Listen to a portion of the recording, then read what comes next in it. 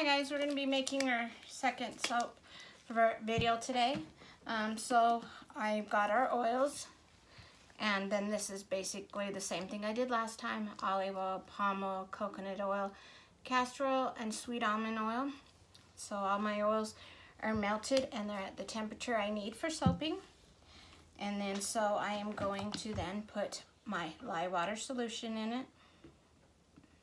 And I'm just gonna pour it in here. Set that aside. And hopefully I have everything I need to do soaping. It's When you're doing these soap videos, it's really hard to pre-plan because last minute sometimes you'll come up with I want something extra, but got some extra things in case I change my mind, like glitter, etc. Um, but right here, let's see if you can see that really good, we're just gonna mix this in. Again, this will be really noisy. Um, we'll work on figuring out editing for sound later. Um, but I'm going to mix it up until that they're all blended together.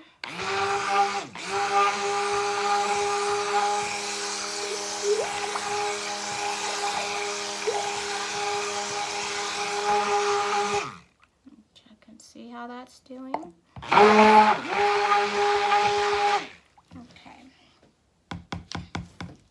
Let's scrape off a little bit of this.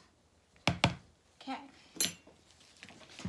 That side, lost a spatula. I'm gonna get one of my rags here and put this on top of it. So, okay, so it's not completely all the way, but I'm gonna still be mixing it in. I'm gonna be splitting these off just kind of by line of sight and see if one's a little more than the other, it's not gonna be too big of a deal. But I'm gonna do a three color blend. I'm gonna try, see if we can do in the pot swirl again. Um, I'm working with a fragrance oil that I have never used before, so we're gonna see once we add that in and the colorant, we're gonna see how fluidy it is. Hopefully we are pretty good um, to where we need. I'm gonna grab a spatula, still have extras and have a whole drawer full. I'm gonna scrape this out, try and get as much soap as I can out of it. Um, all that is goodness in there. So, okay, so we got these. And so what today I'm gonna try and do is I'm gonna use Nurture Soap Sea Green Mica Powder. I'm gonna put a little bit of that into one. I'm gonna just put this this much into there. Tap that off, set that to side. I am gonna then try a Celestial Silver Mica. And I've never used these colors before, but today I feel like being a little bit experimental. This one inside is so, so I'm gonna try that. And get that out that way. And then Nurture Soap. All of these are Nurture Soap. New Leaf Mica powder. This one's kind of more of a, a lime green. I just wash that off and then put it into here. All right. So that's going to be interesting colors. We'll see how it works. And when they get blended in, they change. Um, and so we'll see. And then today we are going to be using, oh, of course I put the bottle away. Um, but it's a sea cactus uh, from Be Scented. And let's see if I can even find it real quick. There it is. Cactus and Sea Salt by Be Scented. Okay, so I'm to just divide up that between these. There's, for my opinion, there's no really, if you put the colors and mix it and then put the fragrance oil and mix it, not too big of a deal other than fragrance oil will be, will make it so that it will trace faster. Can't, it's words, you know how it is. Um, so then I'm gonna just start mixing these up one by one and then I'm gonna get my bowl back and we're gonna see if they're fluidy enough that we can do a swirl.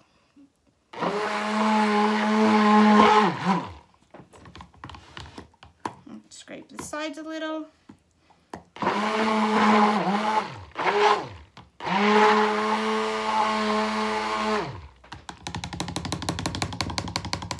gonna go to the green.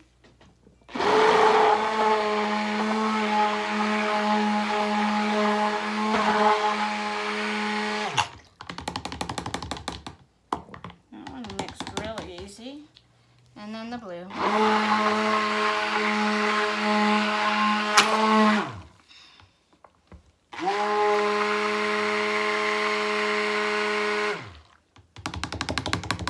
All right, that blue is a lot than I expected, but I think we're gonna stick with it. I don't wanna mess too much so it gets um, accelerated um, too fast. So let's see if you guys can show you these up close. And they're already getting stiff. So we're gonna try and see what we can do with this. Um, I try new fragrances all the time. I look at the research, and this is actually still not bad. Look at how fluidy that is still. Um, but I will test out one with my recipe because everybody's recipes are different.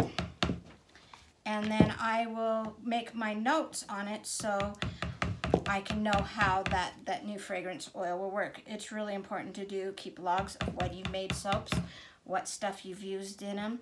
Um, because if a customer wants you to make them over again, it's good to know that.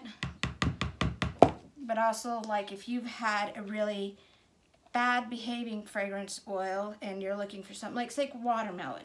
Watermelon is um, a soap a lot of people like, but there's a lot of watermelon fragrance oils. Like, I think, I could be wrong, but I'll have to look at my notes, but I believe that Crafter's Choice Juicy Watermelon I used one time, and like that thing sees, I can even get color in it. It went so fast. And so um, that would be one that I would only use in bath bombs going forward. I would not use it for uh, anything else other than that. Well, and melt and pour would be okay too. I have to would have to look at the vanilla content because vanilla makes soaps turn brown. You can use a vanilla stabilizer um, and add it into it, but even vanilla stabilizer after time, see how stiff that's getting, will um, make it so that it still turns brown. You know, it only works for so long, so. But melt and pour scents, soaps will lose their scent over time. Um, all soaps will be, but cold process soaps seem to hold their, their things a little bit better. So it's getting a pretty stiff right here already. So I'm just gonna do a very loose kind of, just trying to blend those colors in a little bit. Okay. I use these molds basically. They're just cheap Amazon molds. I'm hoping that I can get this in here and I'm gonna have to do some uh, down with it so we can try and get air bubbles. My orange and purple soap I made the other day, um, that one just got like so stiff. This is still pretty soft. I can mush it and you see how I can move that around. Not too big of a deal, but that one just, it was stiff. And so um, I'm gonna try and use my spatula, smooth it down, make sure I try and push down as it is. I don't know if you heard that little, that was a little air bubble. I know, great sound effects. but we'll see how it goes. And then I'll just keep adding in. And I think maybe, I'm getting messy here, do a tap. Get some of those air bubbles coming to the top. And then get this in there. See how fast we can go. I've had some soaps that I've worked with were just gorgeous and easy flowing. And then lately, I've had a bunch of soaps that just want to be stiffer, but that's okay. I mean, that is what every soap maker, there's nobody out there that has never had that happen. At least not that I would ever think so. I mean, you start out and you're doing that, and I'm still pretty new to it. With the cold process anyway, most soapers, not all, but we all start out with a melt and pour soap. And we try our hands at that, and then we go and we, we go into a cold process. I was so nervous to try cold process You know, like I heard about lye solution and, you know, and how that it's very caustic and you can get burns and that. And so I was, I was just so nervous. and so I did so much research, so much research on it. And I just, I just didn't have the guts to try it. And then finally one day I said, you know what? I'm going to do it. You should have seen me. I had so much protection on. I looked like I was going into a nuclear power plant. I had the big, huge goggles and all this stuff on, this mask that they use for construction. And I made had these long soap sleeves. And I mean, not to say that I don't get ever soap like up on my arms, but if I do, I have baby wipes. That's my thing. I choose to have baby wipes. And I just wipe it off really quickly. Um, it's a very rare thing because you kind of get so you do my hands on the other hand. I don't know how people soap without gloves. A, first thing, it's more sanitary. Anything I touch on the soap has gloves, but you can definitely get like, um, it's more of kind of like a rash. If you let it sit, of course it would be worse, but um, it's not as bad as they did. They say um, the thing I think that is the worst in regards to that is when you are doing the lye water with the lye with the water trying to explain it and concentrate on what I'm doing at the same time uh, that you you have a steam that comes up and that is definitely when you should be wearing a mask you should be making sure that you're not breathing in that stuff it'll make you cough and choke and anything that does that can't be that good for your lungs. So, all right. So I am gonna wipe up the edges here. And I'm hoping that even though it's pushing down, that when we cut it, that those colors you can see, we'll have to see with cutting.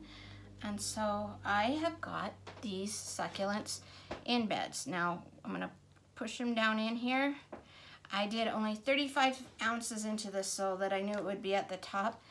Um, some soaps, obviously when I cut, we're gonna have the succulents will be cut, but we're gonna try and place them all over and make sure that every piece has succulents. There shouldn't be any of them that don't. And so we'll just do, and I just did, I was experimenting with different layers of melt and pour. They kind of kind of look a little bit odd. Let's see, that's a little extra. I have to get that out. I'll get it out later. Um, but I think that I like them. They're kind of different. I mean, everything's an experiment. You can either toss it if something doesn't come out and start anew or remelt it and change the colors or just see how it goes because we are all so different. Oh, of course, a little piece of melt and pour. Come on up. Oh, I'll get a spoon. Not where I wanted it. But we're all different. So what one person likes, another person doesn't. And that's okay. Um, but I love blue. It's my favorite color. And I thought a little bit of gold would be with, in my head, it was completely different though. Looks like a little baby one. See if we can do this one there. There you go. And then another big one. And we got a little one right here we can do. And I got one more baby one. Let's see, was that too much? Yeah, we got it to fit. Okay, so that is what it's looking at right about now. I can leave this as is, but I'm always been known to be a little extra person. I like to try and be different. So, I love glitter. It's Tuesdays. It wouldn't be a work meeting if I didn't come to work with glitter on because this seems to be the thing now. So I am going to put, this is a little bit of Twinkle Blue Crafter Choice Eco-Friendly Glitter. And I'm gonna just put it in. I got it in a little salt shaker. And see, that kind of like adds a teeny bit extra to that. Look at that. And I think, I may regret it, but I think I'm gonna do this. This one is Crafter's Choice. I think it's the Gold Coast. Pretty sure. I have it back here. Let's see if I can see it. Hmm. Not off the bat. I just filled it, so I probably said, oh, here it is. Now I want to show you the, this. See, like, there's all kinds, but look at how pretty that one is. And it's the Gold Coast Holiday Mica Powder. So, again, safe soap product. This one I'm wanting to put just, whoops, we'll see. It has its own mind. And that might have been too much extra. But I'm gonna go over a little bit again with this. And then this here, we'll disperse it a little bit. And so, because I'm so, I love glitter. So, and then I'll do that again, just everything will set. It will kind of make um, the glitter move a little bit and run. So, at least in my opinion. See, like right here, I think I got like too much. If I spray it there, it'll help it run off a little. I don't know how other soapers do it. That's just how it works out in my head. And I'm just gonna clean up these edges. Get all the glitter off the sides. Not that it matters, it's just a, my thing. And then I'm gonna show you it up close. Look at this. I think it's gonna be beautiful. And so one of these uh, will make me nine bars of soap and then I'll get a little bit of the end pieces each that will make a little sample which I will either has have a hole or is this or is um, cut them in half but they're just really thin samples. And so when people do uh, really big orders I'll put in some of those samples because they actually last a few baths. It's quite amazing. Um, but this is the soap for today. I don't have a name for it. Sometimes I like to go onto my Facebook and ask people, I'm gonna push this one down a little bit, ask people what their ideas are and I let my customers name the soaps. Sometimes I come up with names or have one in my head already, like my Georgia Peach soap. Um, I love the name of the fragrance oil, Georgia Peach. I'm like, this has to be named Georgia Peach. But for this one, I think I am gonna see what people decide to name it. Um, I'm on Facebook just in regards to that's where we do drawings and you get like behind the scenes and get to be included on things and find out what's the happening anytime anything's going to the store. For under Facebook, we are called Our Creation Lab. You can also find all these soaps in our Etsy store, which is Etsy uh, shop. Our Creation Lab. If you just put in Our Creation Lab, it should bring you right to you. So if you want this soap and it smells amazing and fresh, go ahead and come to our store and we'll have it ready for you in about four weeks, all right? And thank you. Subscribe, comment below, like this video so we can get started. I'm to try and do a video each week. We'll see how that goes. Thank you all for watching and I'll see you later.